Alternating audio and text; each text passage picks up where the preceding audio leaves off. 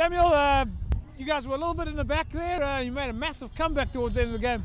Yeah, you know, it's uh, it's a tough game today, and um, Strand uh, United is a very good team, you know, and we just come back and thought we should do it for the fans. Did you uh, did you make a strategic decision there with the wind, especially in the second half behind, behind your back? We always try to play against the wind, you know, and to get that momentum with the comeback, I think that's brilliant for my boys. You know, it's hard work that paid off. And tell me something now going into the league. I mean, this was just a warm up game for you guys. Are you excited? Yeah, we know on Monday we're playing finals, maybe against Macassar or Young People's. Tough game, but we hope to push through and start the league with a winning side. That's it. Nice